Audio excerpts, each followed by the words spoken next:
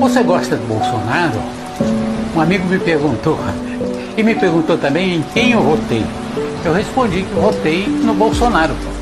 E aí ele me perguntou se eu gosto dele, do Bolsonaro. Eu respondi que não. Eu gosto mesmo, é de mim.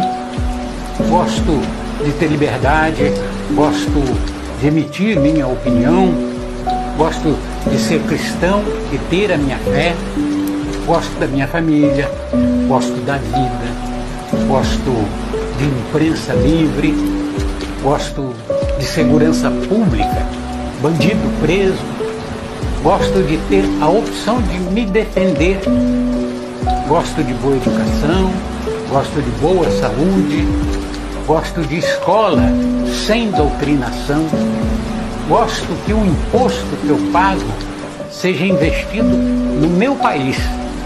Saneamento básico, rodovias, metrôs, escolas, hospitais, etc, etc. E não investido em outros países. Eu gosto do meu país. Conclusão: não precisa gostar do presidente, basta gostar de você mesmo.